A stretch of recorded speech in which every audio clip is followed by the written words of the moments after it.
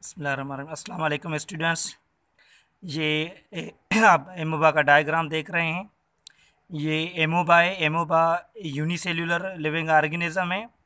ये stagnant water यानी fresh water ऐसा पानी जो हरकत नहीं कर रहा है, एक जगह पे खड़ा रहता है, उस पानी में पाया जाता है।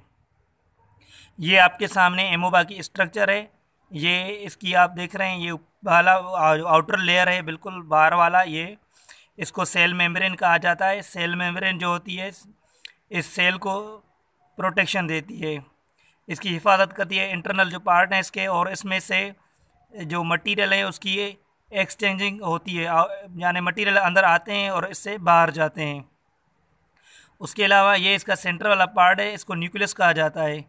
ये न्यूक्लियस है और ये सेल के सारे जितने भी फ़ंक्शन हैं उनको कंट्रोल करता है।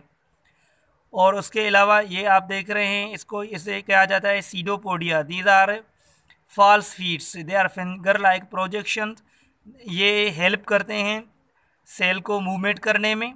और दूसरे, ये बात कि ये ये वाला जो ये देख रहे हैं आप, ये फ़ूड है, इसको, ये प्रे है इसका, इसको पकड़ने में ये सीडोपोडिया जो है, ये हेल्प करते हैं इससे.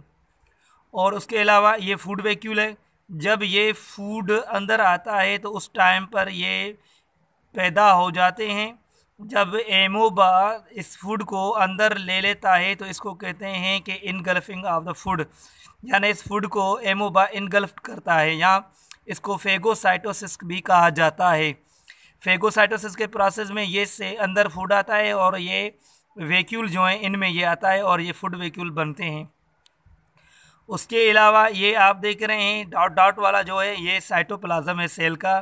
और इसमें फिलिड भी होती है और ये साइटोप्लाज्म में, ये जैसे कि सेल यूक्रेटिक है तो इसमें साइटोप्लाज्मिक आर्गेनेली होती हैं। जिस तरह से माइटोकॉन्ड्रिया हो गई गालजी बॉडी हो गई एंडोप्लाज्मिक रेटिकुलम वगैरह वगैरह इसमें होते हैं।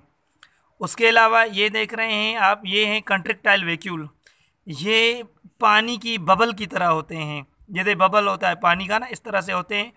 ये जैसे फिल हो जाते हैं वाटर से तो फिर ये जो है ना बस्ट हो जाते हैं। बस्ट होकर के इसमें से जो वाटर होता है, वो सीक्रेट हो जाता है, बाहर आउट हो जाता है।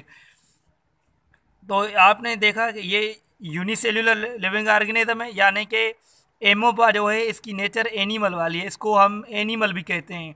ये एक एनिमल है, ठीक है? और इसमें सेल वाल वगैरह कुछ भी नहीं होती। इस वजह से इसके करेक्टर्स जो हैं एनिमल से मिलते हैं और ये हेट्रोट्राफ है।